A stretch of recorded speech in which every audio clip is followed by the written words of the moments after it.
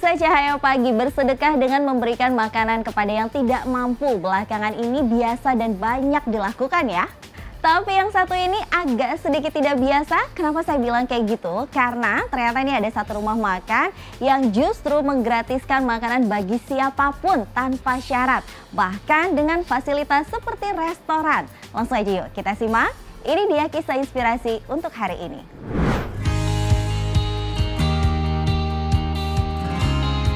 Setiap orang memiliki cara tersendiri dalam bersedekah dan membantu orang lain, seperti yang dilakukan pria satu ini. Tito Abdullah membangun rumah makan gratis bak restoran mini yang berlokasi di Jalan Raya Jatinangor, Sumedang, Jawa Barat.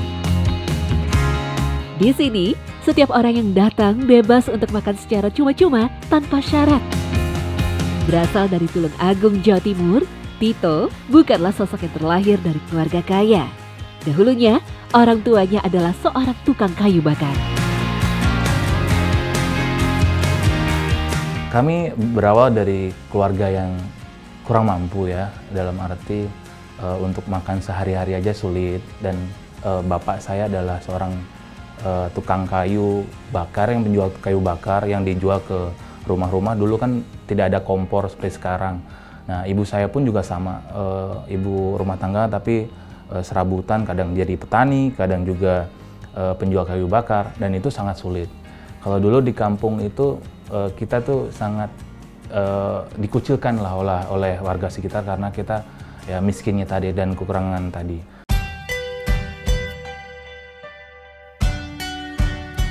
Menjadi anak dari seorang tukang kayu, keluarga Tito pun sempat mengalami hal sulit dan kerap dikucilkan masyarakat sekitar. Sehingga hal itulah yang menginspirasinya untuk membangun rumah makan gratis tanpa syarat ini. tercetusnya eh, ide rumah makan gratis ini pun juga ya, dulu saya dari orang susah. Makanya wah saya ngeliat dari orang susah orang kelaparan eh, banyak orang yang tidak mampu apalagi sekarang PHK jadi saya punya ide itu semua untuk eh, membuat rumah makan gratis ini gitu sih. Jadi intinya saya dulu dari orang susah berjuang untuk bermanfaat bagi orang lain seperti itu Inspirasi membangun rumah makan gratis ini didapat saat Tito melihat seorang ulama di Arab Saudi membagikan makanan gratis setiap hari saat ia umroh ke Tanah Suci. Ia ingin menerapkannya di tanah air. Saya tadinya terinspirasi dari ulama Arab Saudi yaitu adalah Syekh Bimbas. Beliau itu mendirikan rumah makan gratis uh, setiap hari gratis 600 porsi setiap siang dan uh, sorenya juga 600 porsi untuk uh, pejalan kaki, tukang sapu dan tukang sampah dan jalan-jalanan. Nah, ini kenapa nggak saya terapkan di Indonesia yang sedang waktu itu pandemi juga gitu. Jadi seperti itu sih inspirasinya dari ulama Arab Saudi itu tersebut. Modal awal membangun rumah makan gratis ini didapat dari tabungan pribadinya yang tak seberapa.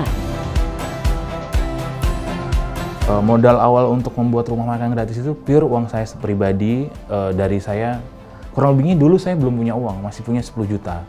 Habis itu saya gimana caranya? Saya ikhtiar saya bekerja uh, secara maksimal untuk menabung kurang lebih sekitar harus sewa ruko 2 tahun dan biaya operasional tuh hampir kurang lebih 200 jutaan untuk untuk awal pembukaan. Uniknya, yang membedakan rumah makan gratis yang dirintis dengan yang lain adalah dengan tanpa syarat untuk seluruh kalangan masyarakat dan dapat memilih lauk makanan yang tersedia.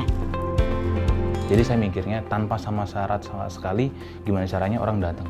Itu pun juga banyak yang ke rumah makan gratis ini uh, juga belum belum berani datang karena uh, mewah dan bagus uh, sebagainya. Jadi saya memberikan tanpa syarat karena biar orang banyak datang dan banyak terbantu seperti itu sih.